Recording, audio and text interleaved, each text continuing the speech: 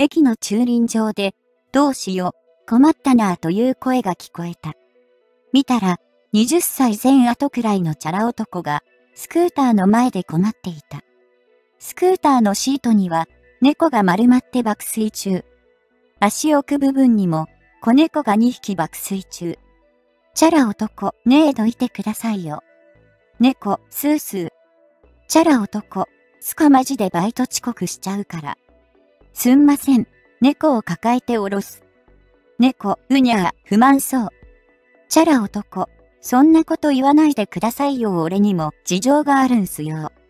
はい、ちびっこたちもごめんね降りてね子猫かけるに、みゃー、不満そう。チャラ男、ご、め、んん。